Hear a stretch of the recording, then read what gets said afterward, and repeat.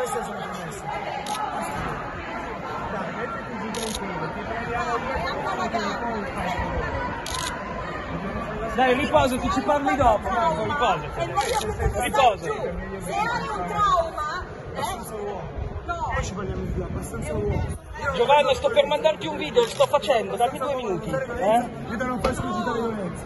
Quanto è terribile. Perché la violenza non è mai giustificata. È abbastanza uomo.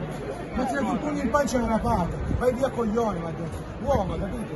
Commissario, commissario.